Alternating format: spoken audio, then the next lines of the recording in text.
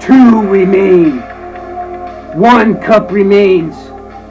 Who will reign supreme? Boston versus Chicago. Whitey Bulger versus Al Capone. Boston Beans versus Chicago style pizza. But more importantly, two original six franchises meet in the finals for the first time since 1979 when Scotty Bowman, the legendary coach and machine behind the bench, he led Montreal to a 41 series win over the New York Rangers.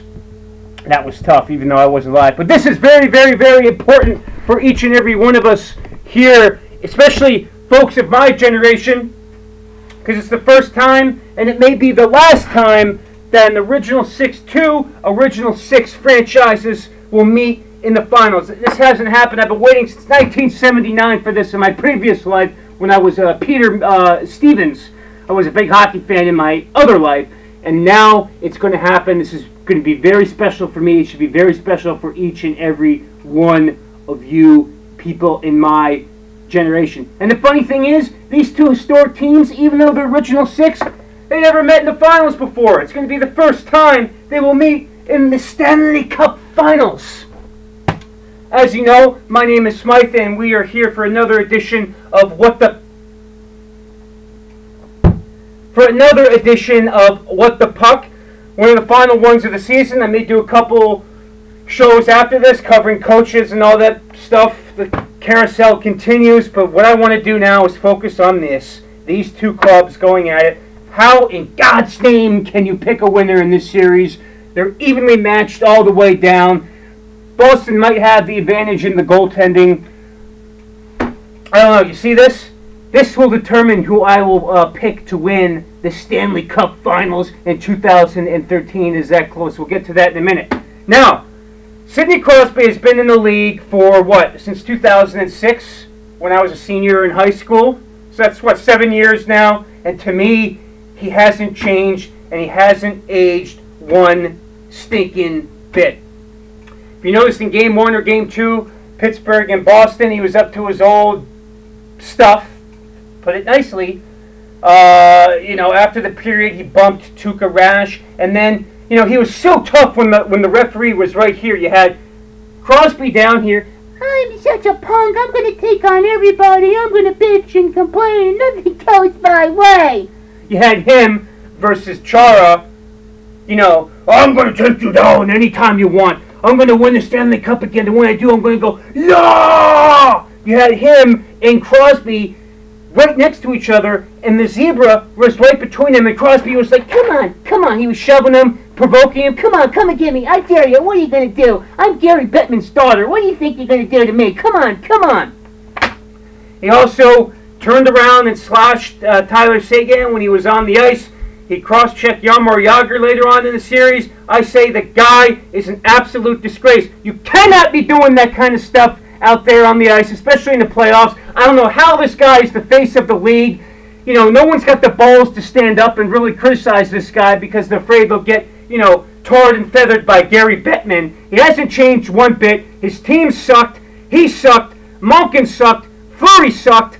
And he didn't do a damn thing about it. He's a whiny, selfish little bitch.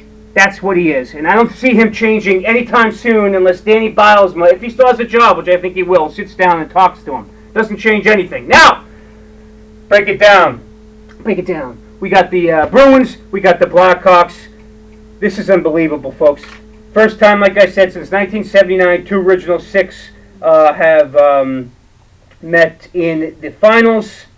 1979, Montreal won. Now the Boston Bruins, who swept the top seeded Pittsburgh Penguins to win the Eastern Conference title. They'll be in the original six uh, rivalry. The Bruins won the Cup uh, against Vancouver in 11, succeeding the Blackhawks, who defeated the Philadelphia Flyers back in 2010. This will be the seventh time the teams have met in the playoffs, and the first since the a, a four-game sweep by the Bruins in '78. Again, first time in the finals, and the first West and East matchup of the season due to the ridiculous lockout we had to endure earlier earlier on uh, in the season. By the way, if you were to ask me, my predictions always seem to be way off, which is why I'm going to let fate decide here momentarily on what the puck.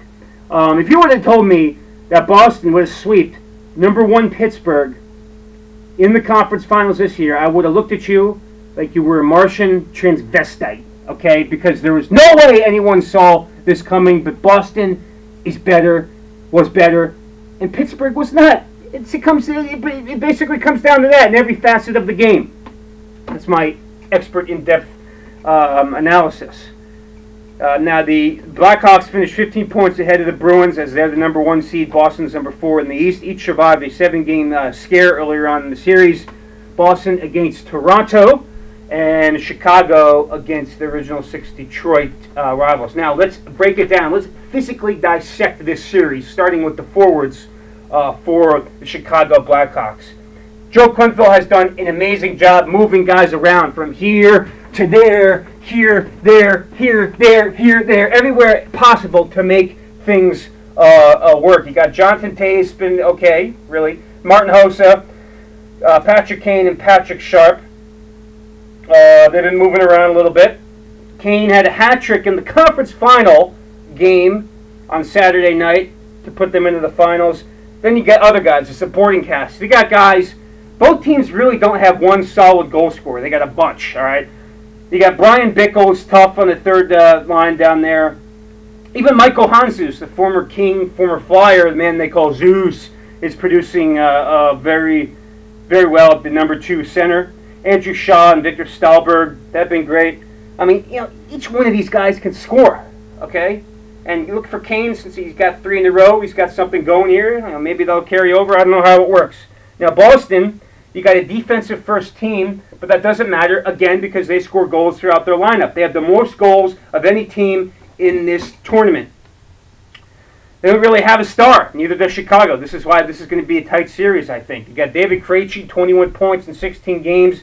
Uh, scored uh, several big goals, like his series opening strike against the Penguins. You got Patrice Bergeron, defensive uh, whiz, kind of. But, uh, you know, he's also scores the clutch goal after clutch goal. Nathan Horton has 17 points. Milan Lucic has been a beast. Uh, 13 points. Brad the Weasel Marchand uh, on Bergeron's line, 13 points. Jaromir Jagr doesn't really have a goal yet in the playoffs, but he has been the most, um, the, mo- the, the one of the best guys to contribute without scoring a goal. He's been setting up plays. He's still one of the best skaters in the world, I think. And he's 41 years old, and I think if he wins a cup right now, he'll retire in style, which will piss Pittsburgh fans off even more. I have a love hate hate relationship with the uh, with Pittsburgh. I love love the Steelers, diehard Steelers fan, love them. They're the best, old school football, yada yada. But on the other side, I hate the Penguins, and yet I'm a Rangers fan. Try to connect the dots, if you will. I certainly can't. Uh, you know what I mean? At least not when I'm sober. Now, okay, we got Milan Lucic. He's been an absolute wrecking ball as usual. The Bruins did lose Gregory Campbell because of a broken leg. And let me tell you something. That is one of the toughest sons of bitches I have ever seen in my life. You go out there and you block a shot and you break your leg. Did he stay down? No. Did he try to crawl back to the bench? No. He got back up.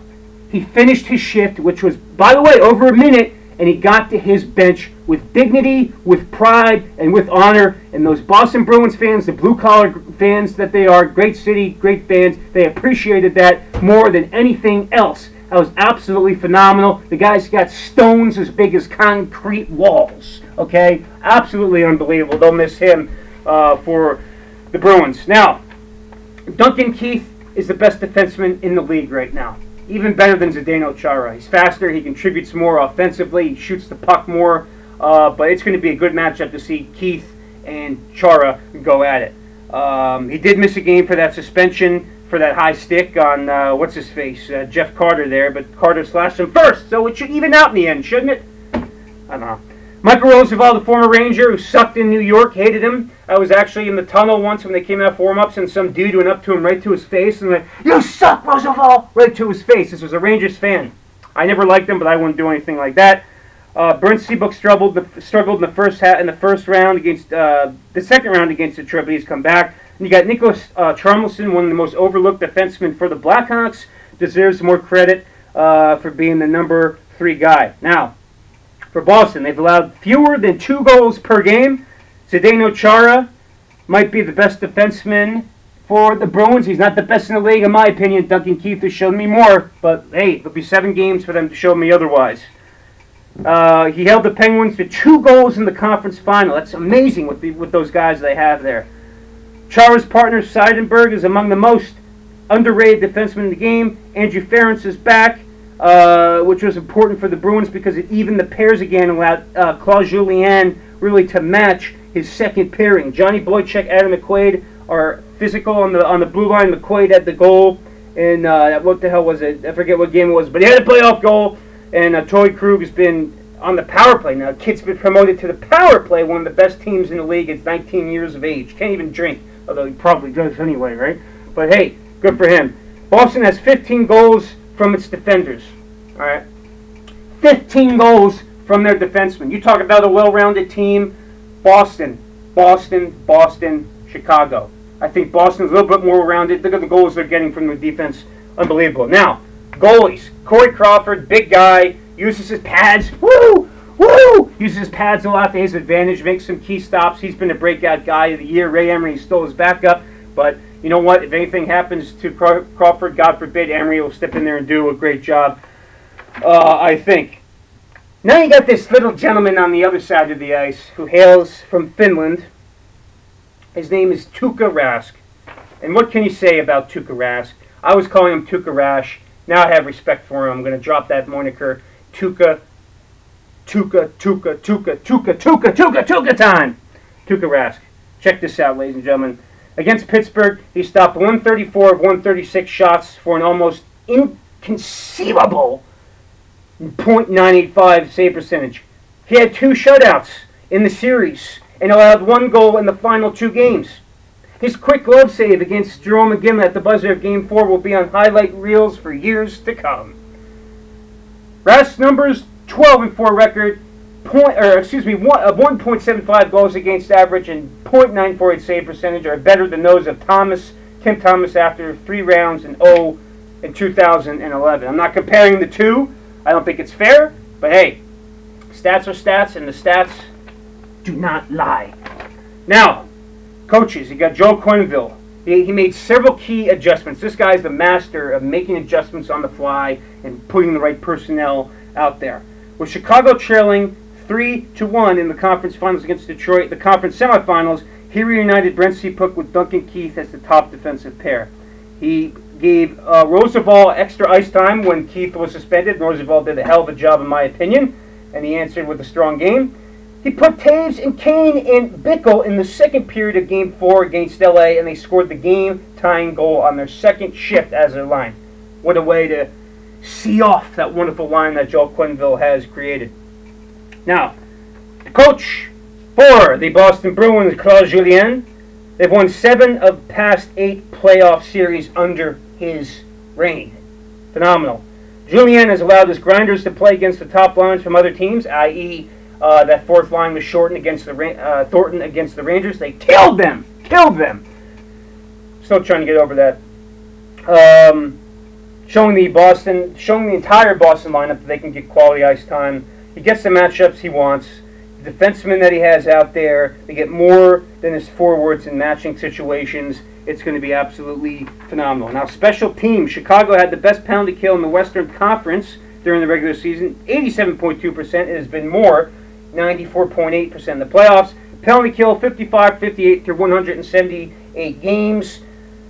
Uh, what can I tell you? Uh, Frolik and Kruger are arguably the best uh, forward duo in shorthanded situations. Chicago is connected on 13.7% of its power play in the playoffs. Boston 0 4 ever in the series against uh, the Pittsburgh Penguins, but it didn't have to be. The scoring at even strength, so who gives a, who gives a shit, right? Uh, Boston is, ex is excelling when down a man. Advantage 15 times at the conference final, didn't score a goal. Uh, the kill is anchored by Seidenberg and Chara. Got anything else for you? No, I do not. Now, I've been thinking this through all week and all weekend long, and I decided the only way to pick a winner in the Stanley Cup Finals between the Boston Bruins and the Chicago Blackhawks. Look at those logos, by the way. Let me zoom in. Look at that. Two historic logos representing hockey, representing the NHL. I love it. So the only way to pick a winner is to let fate decide. Heads are the Bruins, tails are the Blackhawks. Let's see what my prediction will be. And it will be tails. Sorry, Boston fans. Chicago Blackhawks will win this series in their second Stanley Cup uh, recently.